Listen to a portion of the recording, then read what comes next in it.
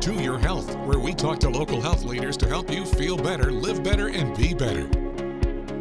Hey, everybody, and welcome to To Your Health. Today's topic melanoma. To help us through that is Dr. Annie Zeig from Surgical Associates of Neenah. Welcome, Doctor. Thank you. Thanks for having me. So, I want to get into this. We were talking earlier. There is some startling news about melanoma, but some good news. Right.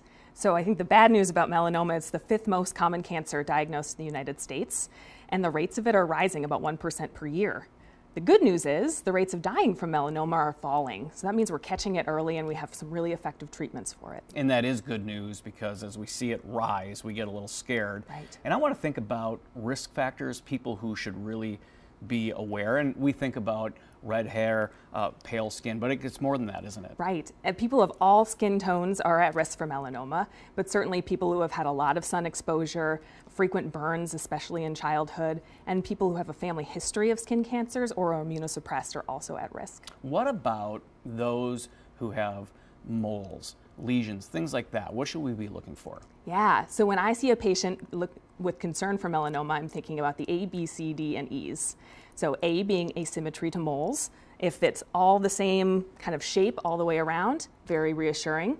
Um, borders, if the borders are irregular, so not a smooth border, that makes me a little more concerned. Color, a single color like black or brown, very reassuring. If there are multiple colors or if the color is changing, I start to worry. Diameter, so about six millimeters. If it gets larger than that, I start to worry. And six millimeters is about the size of a pencil eraser. And then evolution. Uh, so if a mole is changing over time, that's a mole that I'm more worried about than one that's been the same all your life.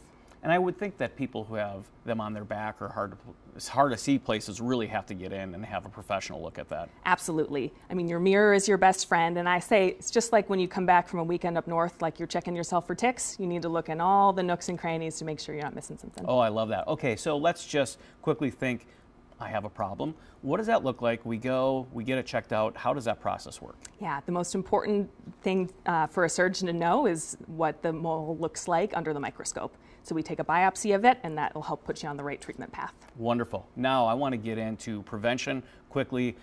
What are the basics? Yeah, sunscreen is so important, and staying out of the sun or using protective clothing when you're out between 10 a.m. and 4 p.m. is the best thing that you can do to help prevent these. Well, Dr. Annie Zeig, I thank you so much for joining us, and we want to thank you for watching To Your Health.